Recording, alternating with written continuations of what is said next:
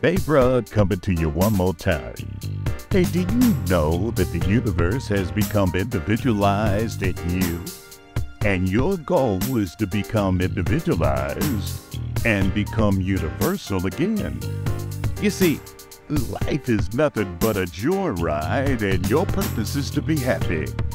So take Babe Rod's advice and make 2023 the best year you've ever had. Talk with you later.